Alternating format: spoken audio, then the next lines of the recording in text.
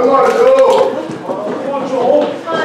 Amen. Well, it's good to see everyone this morning. I hope you're excited to uh, continue our study of the book of Ephesians. You know, last week we uh, we took a good look and we talked about how only the faithful survive. Amen. And our three points were faithful to endure the work of God because it's a lot of work to what God's calling us to. Right. We talked about being faithful to spread the word of God because, well, that's what we got to do. And then we talked about being faithful to the whole will of God because Paul didn't just go to Ephesus, but while he was there, according to Acts chapter 20, he did the entire will of God by spreading the good news to the rest of the church there. So today we're going to continue our study in the rest of chapter 1 and then on through chapter 2. And the title of our message is Chosen by Grace. Amen. So let's bow our heads here in a word of prayer and then we'll jump into our message. Father God, we just love you so much. We thank you for this opportunity to come to you and worship you together and to commune together with your Son. Uh, Father, we are just so grateful for all the incredible blessings that you've given us and all the incredible truths that you've revealed to us through your word. And uh, Father, I just pray, God, that we will be motivated by your grace and we will appreciate the faith that you gave us to save us. And we are just so grateful, God, for the calling that we've received. We pray to live our lives in ways that are worthy of the gospel that we've been called to live out. And we just pray to do our very best as we follow in the footsteps of our Lord and Savior, Jesus Christ, who was perfect in every way. We love you, God. We thank you for this opportunity. Uh, we just pray that your word will touch our hearts this morning. It's in your Son's mighty name, Jesus, that we pray. Amen. Amen. Amen. Please turn with me over to Ephesians chapter 1. Come on, Joe. We have five points this morning, amen? Dang, okay. So you're in for a very long sermon. Just kidding. Come on, You know, if we literally did an exposition of the book of Ephesians, we'd be here for weeks. Wow. I mean, without sleep, without breaks. It is a very deep book. It's full of one-liners. And so when we study out the book of Ephesians, if you want to get really deep, I'll give you some great commentaries you can go study out on your own. Uh, some scholars that are very smart. But I am going to keep it simple. Amen? And so we're not going to do an exposition as much as we are just a concentration on different themes throughout the book of Ephesians. So last week, I hope you understand the introduction to Ephesians being far deeper than just, hey, how are you? It's good to see you guys. But really, this is a letter written to the faithful who endured all that heavy persecution throughout Acts chapter 18, 19, and 20. And Paul's heart was for the church because he loved those guys very dearly. I mean, it started with those 12 at the beginning of chapter 19, and those 12 went all throughout Asia in two and a half years or so, and we know that is by the grace of God. And so today, we're going to look at Paul re-engaging the church to remind them of who they are in Christ. Amen? Amen. Let's read together here in Ephesians chapter 1. We'll read all the way through verse 14 here. Paul, an apostle of Christ Jesus by the will of God. Now, this is a reminder that in Revelation chapter 2, Jesus commends the church in Ephesus for testing all who claim to be apostles. So Paul wanted to be clear, guys, I'm an apostle by the will of God. To the saints in Ephesus, the faithful in Christ Jesus, grace and peace to you from God our Father and the Lord Jesus Christ. Praise be to the God and Father of our Lord Jesus Christ, who has blessed us in the heavenly realms with every spiritual blessing in Christ. For he chose us in him before the creation of the world to be holy and blameless in his sight. In love, he predestined us to be adopted as his sons through Jesus Christ in accordance with his pleasure and will, to the praise of his glorious grace, which he has freely given us in the one he loves. In him, we have redemption through his blood, the forgiveness of sins, in accordance with the riches of God's grace that he lavished on us with all wisdom and understanding. And he made known to us the mystery of his will according to his good pleasure, which he purposed in Christ, to be put into effect when the times will have reached their fulfillment, to bring all things in heaven and on earth together under one head, even Christ. In him we were also chosen, having been predestined according to the plan of him who works out everything in conformity with the purpose of his will, in order that we who are the first to hope in Christ might be for the praise of his glory. And you also were included in Christ when you heard the word of truth, the gospel of your salvation. Having believed, you were marked in him with a seal, the promised Holy Spirit, who is a deposit guaranteeing our inheritance until the redemption of those who are God's possession to the praise of his glory. Amen? Amen. You know, right here we see Paul highlighting several themes. He talks about the grace of God, being chosen by God, the Holy Spirit and the power of it, but he's talking specifically about the spiritual blessings that we have in Christ. Point number one this morning destined for blessings. You are destined for blessings. He says, You've been predestined. I've had this plan for a very long time. Long before you were born, your mom was born, your grandma was born. I was before all time, and I destined you for blessings. Isn't that comforting to know that God had a plan for us since the very beginning? Yeah. I mean, these blessings may not be material, these are spiritual blessings. Now, we know that spiritual blessings supersede material blessings. Although we appreciate material blessings, Amen. but the spiritual supersedes that. How do you know that? Because someone can have all the riches in the world and still feel empty at the end of the day. And yet you can have nothing in the world and still be full because of your relationship with God. Yeah. And so we need to appreciate the spiritual blessings given to us by God. Obviously, the ultimate blessing is just to know God. Just to walk with the Lord. Just to be able to commune with Him on a daily basis, to have that deep relationship. And really, as Christians, we get so much of our identity from this principle. And the days where we're struggling, and the days where we're, we're not doing so well spiritually, and the temptations are settling in, are usually the days where you've forgotten who your God is. It's the days when you've forgotten the spiritual blessings that you have. And you get focused on the material things around you. You get focused on the struggles of being in America, these first world problems, rather than just Right. appreciating the fact that God loves you Right. and that He's called you and that you've been chosen to live a life of blessings. Hold your spot here, please, and look over in John chapter 1. Come on. Come Joe. Come on, bro. At the very beginning of the Gospel of John, we see in the preamble here a very encouraging verse. In verse 10, He, meaning the Word of God, was in the world. And though the world was made through him, the world did not recognize him. He came to that which was his own, but his own did not receive him. Yet to all who received him, to those who believed in his name, he gave the right to become children of God. Children born not of natural descent, nor of human decision or a husband's will, but born of God. You know, the, the amazing, most incredible thing to think about is the fact that God chose us personally. I mean, yes, He chose the church. And yes, there are Christians all over the world. But when you individualize it and go, goodness, seven billion people around the world, and God looked down and He chose me. Come on. And there's something special about that. Yeah. And there's something that's so deep, so profound, it'll get you through any challenges. That at the end of the day, no matter what material struggles you're going through, you can still have a, a true, genuine smile on your face. Yeah. Yeah. Because you've been walking with the Lord. And you appreciate the spiritual blessings that you have. The fact that we've been adopted is incredible. Yeah. Yeah. We've been adopted. We've been adopted. This is a very real, very legal relationship with God.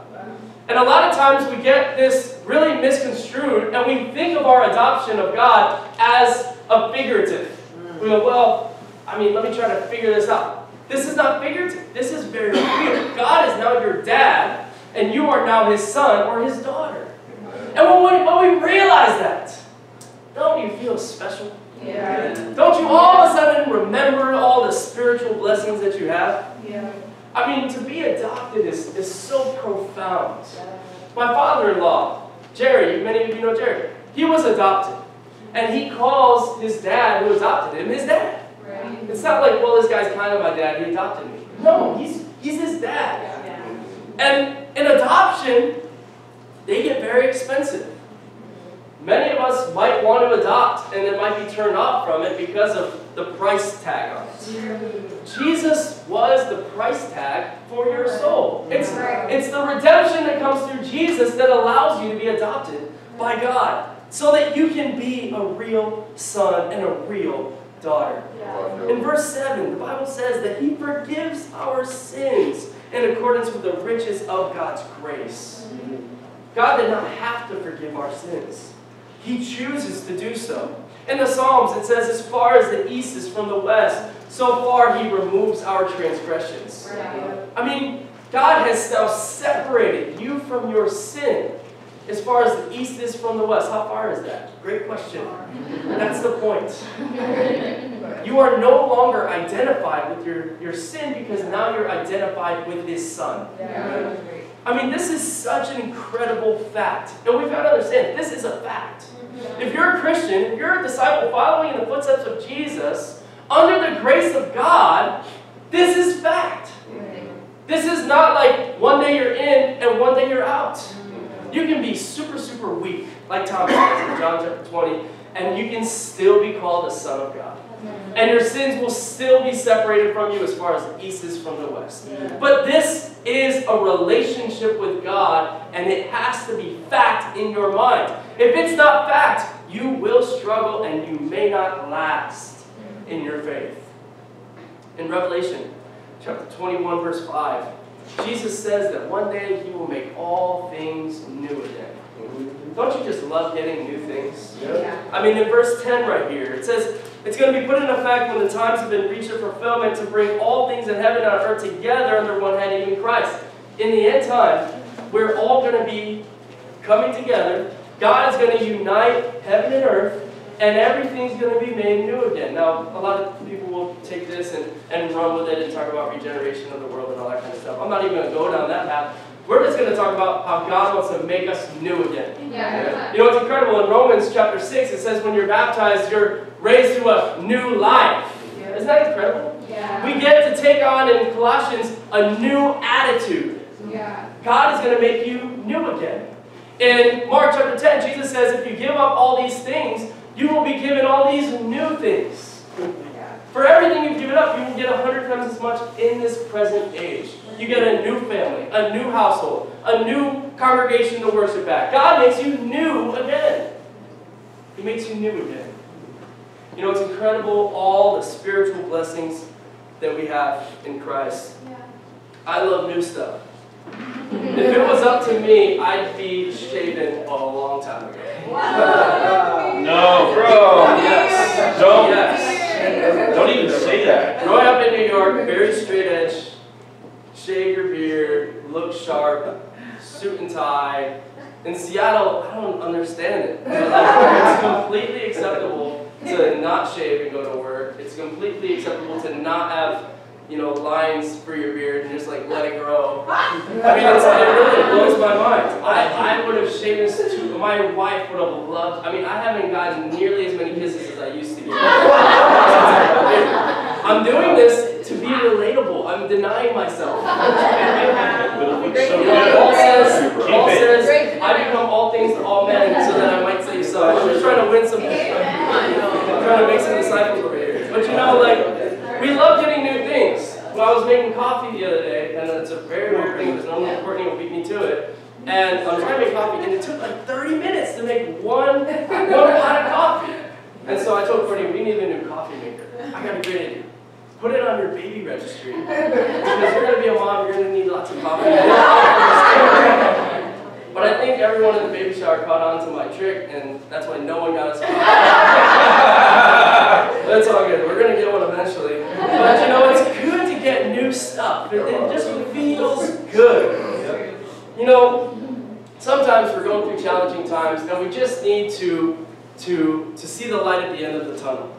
You know, we get so distracted in all the challenges that are surrounding us and bombarding us with family and finances and all the struggles at our job and everything just piling up on us every day, day after day. Sometimes it's good to get that tunnel vision, just look up to heaven and think about all the spiritual blessings that you have waiting for you in heaven. Yeah. And when you do that, you just kind of everything else becomes foggy. It doesn't really become all that all that important anymore, and you just get focused on what really matters. Yeah. Come on, Joe. You know, a lot of times we'll take these material struggles or these struggles that we face daily in life and we'll try to deal with them in worldly material ways. Mm-hmm. And the Bible gives us spiritual solutions for these problems. But the reason we don't deal with them in spiritual ways is because we don't see them as spiritual problems. Oh, come on. We go, well, I don't have any money for, for my bills. You know, let's just talk about finances for a second. I don't have any money for my bills. That's a material problem. That's not a material problem. That's a spiritual problem. And there's lots of spiritual scriptures to teach you how to pay your bills. You know, we look at our marriage and we go, oh, I just had this marriage bump, you know, we're not seeing eye to eye or, or whatever. That's not a physical, material problem. That is a very spiritual thing. Because if you were both being spiritual, marriage would be awesome.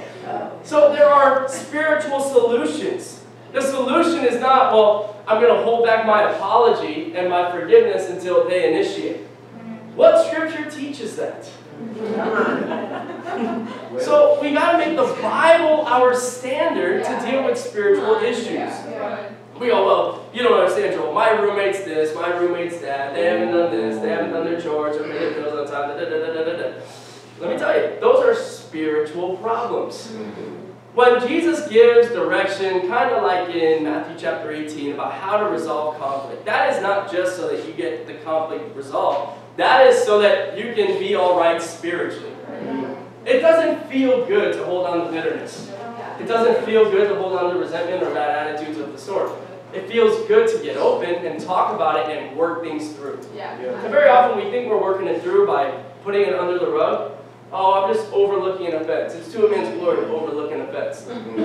Okay, you're going to overlook it, it's gone, it's in the past, it's never going to happen again. But if you're going to think about it and feel those things again, you've not overlooked it, You've just become resentful. And there's a little seed of bitterness in your heart, and if you don't deal with it, it's going to take you out. You know, Paul understood this because he had planted the church in Ephesus many years before this, and he writes this around 64 AD, and he's now dealing with all the spiritual issues. I mean, it's exciting to be on a mission team, isn't it? Yeah. It's exciting to go out there, to get involved in the mission, to make disciples, to do these radical things. It's a very exciting time. But as time goes on and we become more and more acquainted with each other, we become more and more acquainted with each other's sin, and some of the fun starts to go away. And so this is Paul jumping back in there. He's going, guys, we got to put out some fires here. I've got to remind you of your spiritual blessings in God. You know, we've got to have the heart that when we're going through spiritual things, that we deal with them in spiritual ways. You know, one of the questions that I always ask myself when I go through a challenging time is number one, what is God trying to teach me right now? Yeah. Sometimes it's good just to take a step back, take a deep breath, smile, and go, God, what are you trying to teach me? What is going on in my heart? Another great question what can I learn spiritually through this? Not, oh man, I gotta make a better budget, or I gotta do this differently, or I gotta communicate better. All that's good, but that's not spiritual, that's not conviction. You've got to make sure you deal with things in a spiritual way with the spiritual God book. Amen? Amen. We are destined for blessings, and trust me, God wants you to be blessed in every spiritual way. But if we lose track of that, then we can start to lose heart. Point number two be determined to know God. In this next section here, Paul is praying for the church's spiritual growth. And it says here in verse 15 For this reason, ever since I heard about your faith in the Lord Jesus and your love for all the saints, I have not stopped giving thanks for you. Remembering you in my prayers, I kept I keep asking that the God of our Lord Jesus Christ, the glorious Father, may give you the spirit of wisdom and revelation so that you may know him better.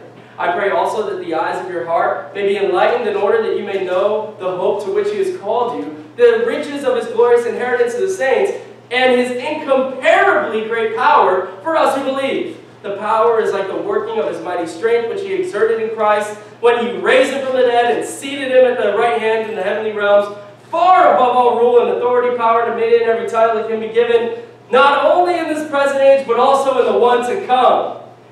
Paul had a way with run-on sentences. and God placed all things under his feet and appointed him to be head over everything for the church, which is his body, the fullness of him who fills everything in every way. Mm. And doesn't God fill everything in every way? Yeah. I mean, look at the land. It's full of green. It's full of sand. It's full of something. I mean, look at the ocean. It's full of water. And look at the church. It's full of awesome people. God fills everything in every way. We have to understand that it is a privilege to know God. Yeah. It is a privilege to know God. The same power that raised Jesus from the dead is working in your life today. That's what the Bible promises. You go, I don't see it. I'm telling you it's happening because God just said it's happening. Right. All these incredible things that are happening around us. And Paul's praying for their spiritual growth so that they see this the way that God sees it. Yeah. I think one of our problems is we pray way too much about ourselves and not enough about each other. Yeah. You know, let's break this down logically. If everybody in this room only prayed about themselves, at the end of the day, you only got one person praying for you. You. But if we have the heart of Paul, where we're all praying for each other, now you have 30, 40, 50 people praying for you, and a whole lot more prayers are going up to heaven, and God's going to bless you all the more. Yeah. Logically, this makes sense. Spiritually, it makes sense. This is the plan of God, that we take care of each other. Yeah. You know, verse 22 to 23, we see probably one of the most incredible truths about all the Bible. And it says this God placed all things under Christ's feet and appointed him to be head over everything for the church, which is his body, the fullness of him who fills everything in every way. I mean, this really is one of the most incredible things. What it teaches is that, yes, Christ is the head of the church. Christ has the church in his, in his grip. I mean, in his control. He's, he's got the church. But then the Bible says that God has placed everything. What's everything mean in Greek? Everything under his feet. And it's all for the sake of the church. Yeah. Isn't that incredible? I mean, literally everything that happens in our world is in submission to God's church. We see an example of this in Ephesus, in Ephesians. He talks a little bit about the persecution, but in Acts chapter 19, verse 23, you see it come to fruition. Because Paul and the guys are out there, and they're preaching radical sermons. They're calling a lot of people to repent and change their lives. And so, so many people's lives are changing. I mean, they're not just going to church Sunday morning. Their life is changing. They've stopped investing and purchasing these little charm idols that the silversmiths were, were making in the area, which were of their, their local god. And people would buy these little, these little metal charms, keep them in their pocket, and it, it kind of it became an idol for them, right? And so they're making so many disciples that people stop buying these little charms. And so the silversmiths, these, these, these guys that are working with the metals, they they come together and they're like, guys, we're going out of business here. Mm. I mean, this guy Paul and his church are preaching to way too many people. In fact, they're, they're converting so many people to Christianity that they don't even want to buy our idols anymore. Before you know it, we're all going to be bankrupt. I got an idea. Let's start a riot. And that's what you see happen in chapter 19. An entire riot starts. They're gathering together all the people of the city against this church. They go into this theater. They're in the theater. They're rioting. They're screaming. They're hollering. I mean, it's nasty. And you know who else is in the theater? The church. The brothers went in there too, and Paul's trying to make his way to the front. Remember, they're, they're in a theater. There's a stage and an auditorium. And Paul's making his way to the front, to the stage. He's about to preach a sermon to all these rioting people who hate his guts. And the brothers are holding him back. They're like, no, no, no, no, no, don't go, Paul. Like, you go out there, they're going to kill you, and that's not good. So they hold him back. They don't let him preach. And they, they take this other poor, poor brother. I don't even, you know, remember his name. That's that's maybe how insignificant he was. And they throw him on stage and they go, hey, why don't you try to silence the people? And this, I, I kind of miss it. Uh, I mentioned this last week, but I kind of, you know, imagined Mason Hartley like, being this guy. Uh, uh, so, you guys should be quiet now and no one's listening to it. They get all the louder, all the more, you know, all the rioting, and finally a city councilor comes in and calms them all down. But, but isn't it incredible that this riot was started because of the economic distress that was caused in the city by the efforts of the disciples in the church? I mean, that, that is God's plan. That is God's plan. That it wouldn't just change the people, but the people would change so much Yeah. that it would rock the world. and the economy would be rocked, and all these, these businesses would be rocked. I mean, wouldn't it be incredible to see the day where so many people are converted and puts the porn industry out of business? Come Wouldn't on. it be incredible? The day where so many people are converted that the whole marijuana thing is just not even a conversation anymore. Yeah. I mean, it just puts these things to shame because God's word is so prevalent and powerful, and His people are so committed to it. Yeah. You know, I got a friend who, um, I got a friend who is an illegal immigrant. Um, she's married to a very American guy, and right now she's in the whole process of trying to figure out how can she stay here legally, how can she renew her papers and all this kind of stuff. And you know, as an outsider may look in and go, "Wow, that's a terrible situation. That's really tough." Well, her husband, who's very American, his family, they're not Christians. And so this actually has now become an opportunity for them to help him, to help her. The whole family has now come together. They're- doing all this research. They're, they're learning all the laws, trying to figure out exactly uh, some of their options here, what they can do. And it's completely become an opportunity to share the gospel with his family. Yeah. And so we look at it on the outside, we go, oh my gosh, this is terrible. Well, sorry, bro, looks like you guys are going back to Mexico. But really, it's become an evangelistic opportunity. Yeah. And I think we're missing out on a lot of evangelistic opportunities because we're so focused on the problem.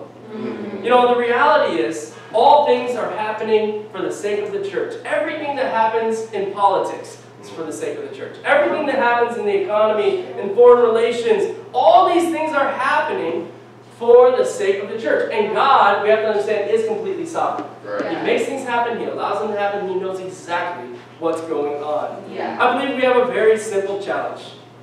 We've got to learn to see things as the sovereignty of God Yeah. and see things with a spiritual mindset. Amen? Let's go to point number three. Come on, Joel. We deserve nothing. We deserve nothing. Now that struck a chord with some of you because we're Americans. And naturally, we grow up feeling entitled to things. I mean, many things in our life were given to us that other people have now struggled to and fought for. Let's talk a little bit about the grace of God here in Ephesians chapter 2, verse 1. Okay. On, Joe. Come on. As for you, let me remind you, you were dead in your transgressions and sins, in which you used to live when you followed the way of this world and of the ruler of the kingdom of the air, the spirit who is now at work in those who are disobedient. All of us who lived among them at this time, gratifying the cravings of our sinful nature and following its desires and thoughts, like the rest, we were by nature objects of wrath. But because of his great love for us, God, who is rich in mercy, made us alive with Christ, even when we were dead in our transgressions. So it is by grace that you've been saved. And God raised up with Christ and seated us with him in the heavenly realms in Christ Jesus in order that in the coming ages he might show the incomparable riches of his grace expressed in his kindness to us in Christ Jesus. For it is by grace you've been saved through faith. And this, not from yourselves, it is the gift of God. Not by works so that no one can boast. For we are God's workmanship, created in Christ Jesus to do good works, which God prepared in advance for us to do. I mean, the fact that we are still breathing is by the grace of God. Yeah. Romans chapter 3, verse 23 says, No one is good. In fact, all men fall short of the glory of God. Yeah. Therefore, we're all sinners. Yep. And then later, Paul writes in Romans chapter 6, verse 23, that the wages of sin is death. The wages of sin is death. Therefore, this room, being full of people that have sinned. Should drop dead at the snap of my fingers, including myself. The fact that we're still alive is God's grace. Yeah. The fact that anybody in this world is still alive is by the grace of God. Therefore, we are saved by grace. Yeah. We are saved by grace. Saved from what? Saved from sin? Not saved from sin. Saved from God's wrath that comes as a consequence to our sin. What saves us? This is a big question here. Big question. A lot of churches, a lot of denominations, they pick this passage apart and they go, listen, we're all just saved by grace. But it's a very general statement. What does that mean? Right. Saved by grace. Here in verse 8, Come on, bro. he says, You have it is by grace that you've been saved through what? Hey. Through faith. And this was not from yourselves, it is the gift of God. What's the gift of God? The grace? No, that is the definition of grace. The faith that you have. The faith that we have was given to us by God. How? Lots of different ways. Romans chapter 10, verse 17 says faith comes from hearing the gospel. Yeah. Romans chapter 1, verse 20 says faith comes from just looking at the trees and the nature of what God's created. Therefore, every man is without excuse. Romans 1.20. Right. Every man is without excuse. Mm-hmm. Everybody has the opportunity at a faith. And you go, yeah, but what about the people out there without Christianity, without Jesus, without Judaism, like without without any knowledge of the Bible or Jesus or anything? Well, you just defined Abraham. You just defined Job.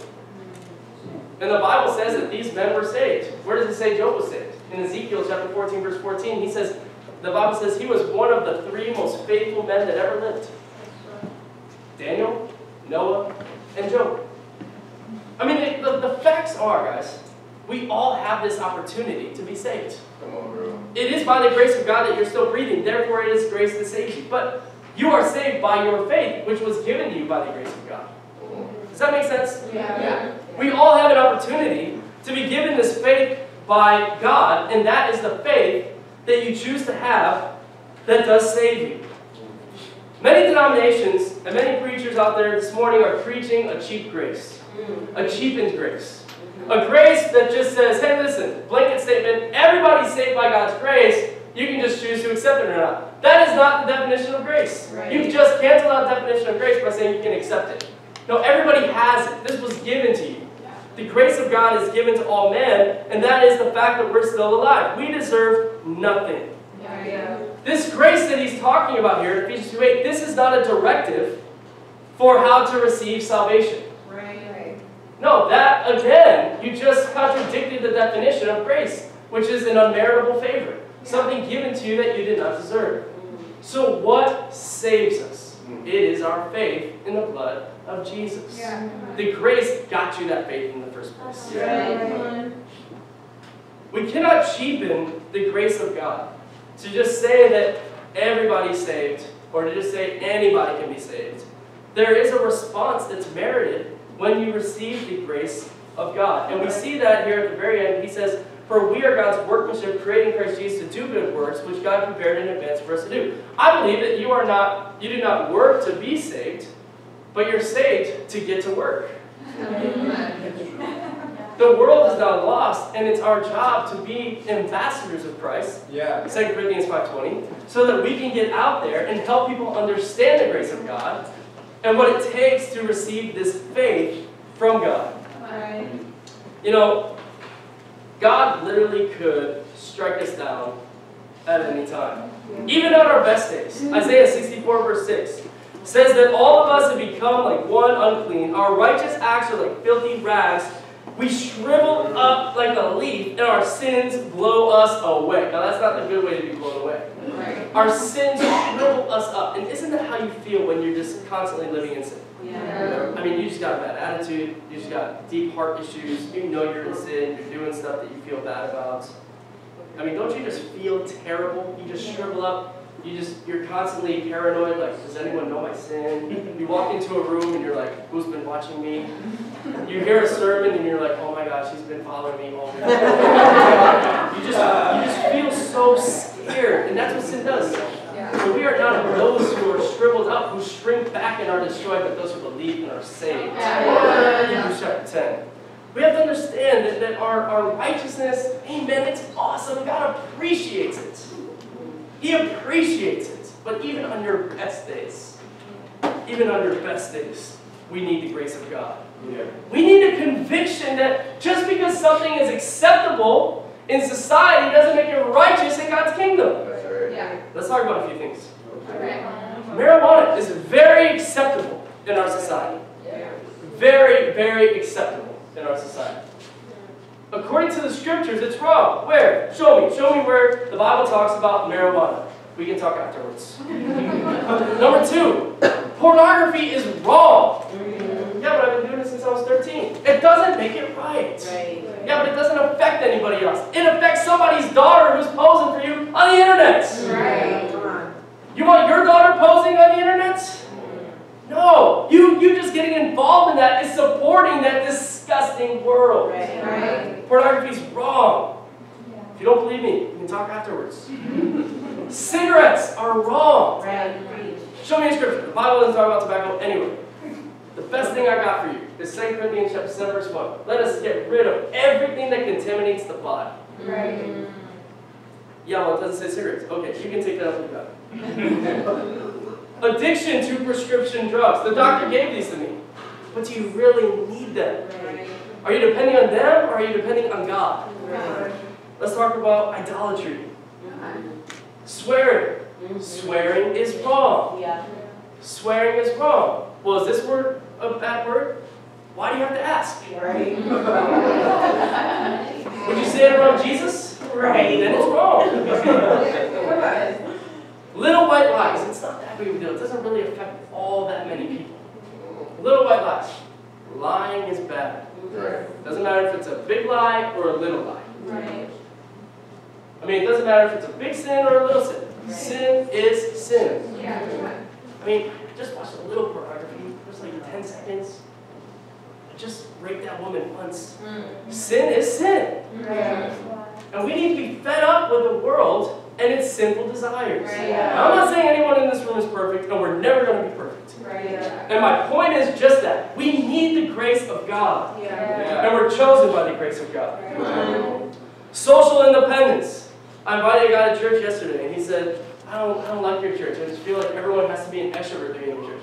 I said, dude, that's not even true. I'm an introvert. See me on a Monday. I mean, we are here, we give, we're out of ourselves because we love God, we want to worship God, and you can't really do that silently.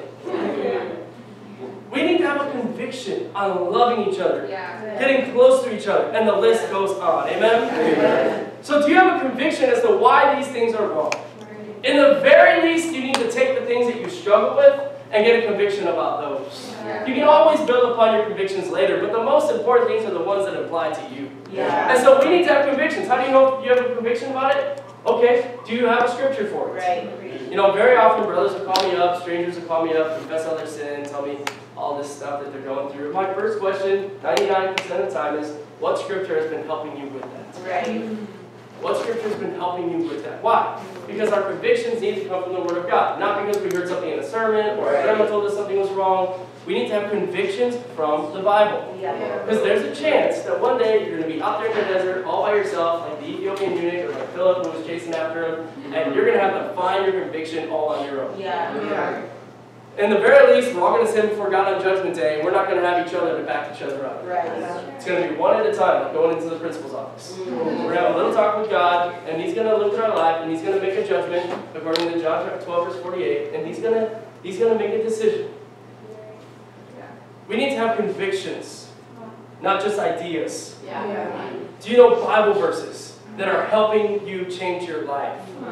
Bible says we are God's workmanship. Isn't it awesome to know that God doesn't give up on us? Yeah. That He's constantly working on us. He's constantly chiseling away at our weaknesses, building us up, trying to make us into better people. I mean, God's constantly working on us. And that gives me a lot of encouragement. Yeah. Even on those days where I'm just having a terrible day, Courtney sees it, she calls it out, she's trying to help me out.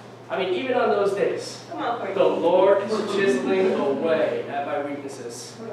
Sometimes with my wife, eh? Come on. She becomes the chisel very often. Number four, Jesus destroys barriers. You know, in a world where borders are being heightened and walls are being constructed, Jesus' heart was always to put us all under the same roof. Yeah. Look at Ephesians chapter 2, verse 11. Therefore, remember that formerly you who were Gentiles by birth and called uncircumcised by those who call themselves the circumcision are done in the body by the hands of men. Remember that at that time you were separate from Christ, excluded from citizenship in Israel, and foreigners to the covenant of the promise, without hope and without God in the world. But now in Christ Jesus, you who once were far away have been brought near through the blood of, uh, of Christ. For, we, for he himself is our peace, who has made the two one and has destroyed the barrier, the dividing wall of hostility, by abolishing in his flesh the law with its commandments and regulations. He, his purpose was to create in himself one new man out of the two, thus making peace. And in this one body to reconcile both of them to God through the cross, by which he put to death their hostility. He came and preached peace to you who were far away, and peace to those who were near.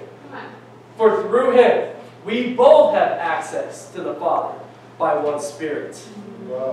When the Bible says that he made peace by making the two one, and then the Bible says that he preached peace to you who were far away and peace to those who were near, the Bible says that Jesus' purpose was to preach unity for the people. And we see that play out even in John chapter 17. Yeah.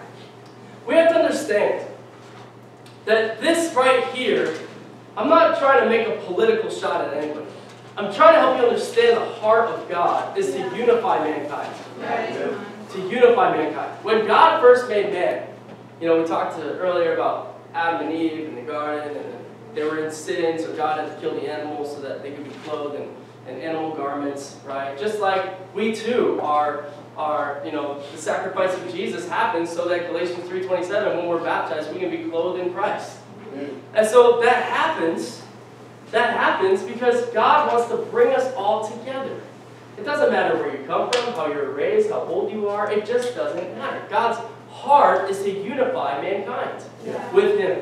Amen. And right here we see the heart of God, which is very, very simply understood.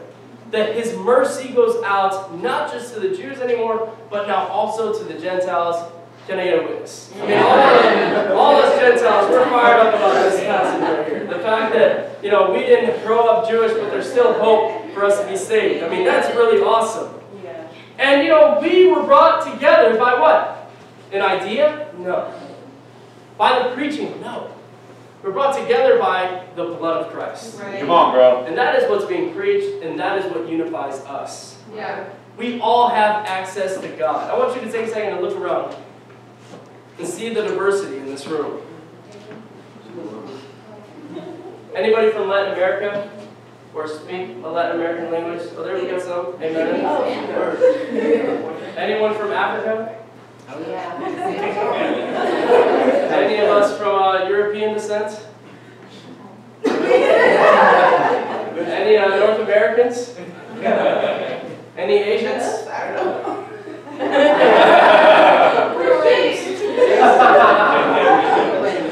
Any Russians? Come on, Would you believe if I told you we had everything we need in this room to evangelize the whole world? We have all the diversity that we need to the whole world. What's the problem? We need to raise up leaders. And you know, if you're going to fully embrace passages like this, you understand that unity does not just happen. As we're going to read next week, we need to be brought to complete unity. Come. Yeah. You know, something really amazing happened to me the other day. Probably one of the most incredible things that ever happened to me in my whole life. I got a phone call, actually a Facebook message at about 11 p.m. on Thursday night saying, um, Is this Joel Parlour, my cousin? I don't know this guy. Is this Joel Parlour, my cousin? My mom, Margaret Parlour, passed away. That was the whole message. Wow. Now, my very living grandmother is named Margaret Parlour. And she lives in Vermont, all by herself. And I haven't seen her in a few years. My dad was supposed to go visit her two days ago, but he took off of work uh, two days so that he can go see his mom in Vermont. But because of the terrible storm that they're having up there, he couldn't go see her. So I thought this was the first news to our family that my grandmother just died. I mean, I, I was driving. I probably looked shocked as all get out. I just started crying. Courtney's like, my grandmother passed away. Please call me at this number. He calls me almost immediately, about five minutes later. Within that five minutes, I called my sister. I told her my grandma's dead. I called my parents, but it was really late at night. They were sleeping in Chicago. It's not sleepless out there. You know why it's sleepless in Seattle? Because of all this coffee that we're drinking. So I call my I call my parents. They don't answer. I call them about ten times. And uh, then my sister, she's like heartbroken. She's like, "Oh my gosh, grandma's dead." You know, I mean, this is the first family member we've lost. I've never lost an aunt, uncle, grandmother, nothing. So it's hit me like a bag of bricks in the face. Uh, so this guy calls me about five minutes later, and he's like, he's like, "Hello." I'm like, "Hey, so I don't know if we know each other or anything, but uh, are you saying my grandma just died?" He's like, "Oh no no no no, my mom, Margaret Parlour, the daughter of your grandmother, died." Which, which I knew that I had an aunt that died before I was born. So I was like, oh, oh, okay. So my grandma's still alive. Yes, your grandma's still alive. Amen. Anyways, what's your name? this is my uh, my black cousin. I got a black. I always heard I always heard that. So really encouragingly, now me and my black cousins are friends on Facebook, and we talked for over 30 minutes yesterday. Really incredible. I mean, it's amazing. It, it really, it really is amazing how God destroys the barriers. How did God destroy the barrier here?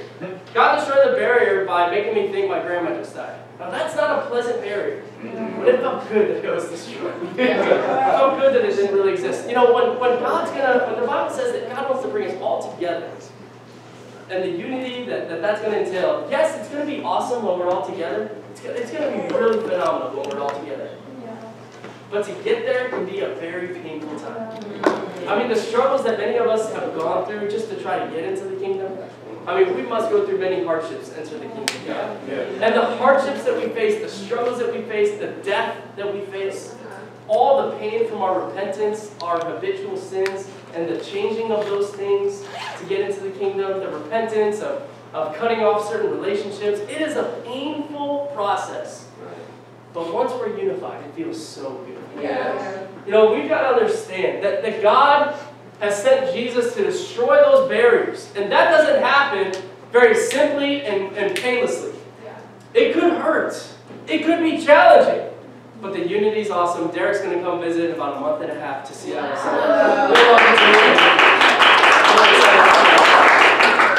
Um, I guess he's got he's doing all right for himself. He had a Bentley. He just sold his Bentley. yeah, I was like, hey, you know, we got missions coming. Point number five. God dwells among us. Let's close it out here in verse 19. Consequently, you are no longer foreigners and aliens, but fellow citizens with God's people and members of God's household, built on the foundation of the apostles and prophets, with Christ Jesus himself as the chief cornerstone. In him the whole building is joined together and rises to be a holy temple in the Lord. And in him you too are being built together to become a dwelling in which God lives by his Spirit. God dwells among us. You know, the foundation of the church is the Word of God. The Bible says here that the foundation is the apostles and the prophets. The prophets brought the Word of God in the Old Testament, and the apostles brought the Word of God in the New Testament. This is a reference to all their writings, the Word of God coming together, and this is the foundation of God's church.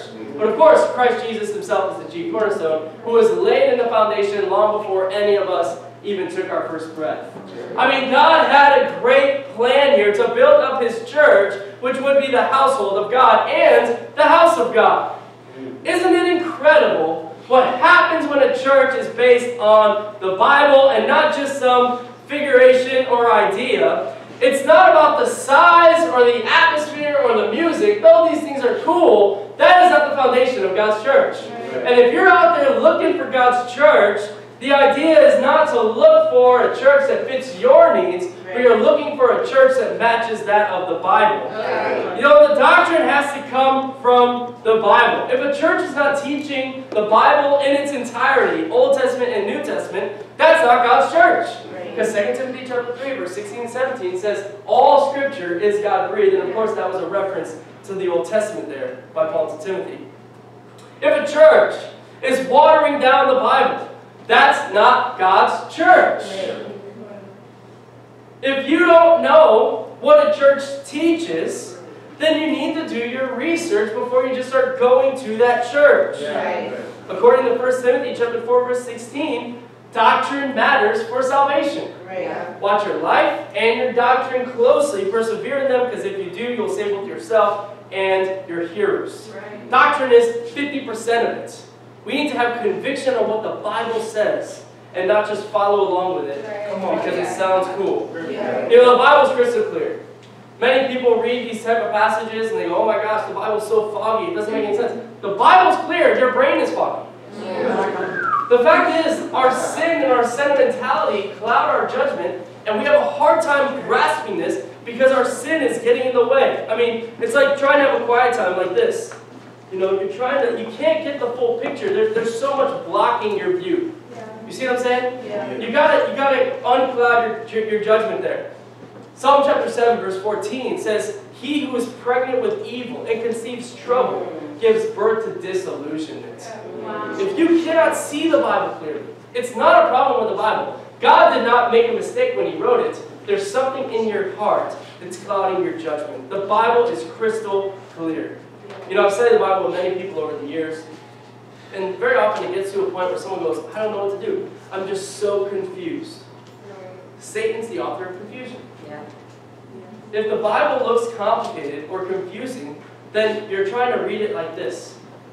We need to take off everything that hinders, the sin that so easily entangles, Yeah. and get a clear perspective on what the Bible says. Come on, Joe. You know, the reality is, guys, God dwells in His church. Right. The church doesn't need to be perfect, but it does need to be committed to the Word of God. Yeah. It's never going to be perfect. Because I'm in it. Sorry about that. because you're in it. And so we need to be taught to obey the Scriptures, to hold firmly to the Word, to have a heart to repent of our sin. You know, I really believe that, that God is dwelling among His people. He's all over the city, He's all over the country, He's all over the world. He's dwelling among His people. We are chosen. That's not an idea, that is a fact. Yeah. How do you know if you're chosen? You're here. Yeah. You're here. You chose God, and God chose you. Yeah. You know, we need to live the lives that God's chosen people are called to live. We must share in the faith and the grace of God. My challenge to us is let us be the church that God has chosen us to be, that He may dwell among us. Amen. Amen. Awesome.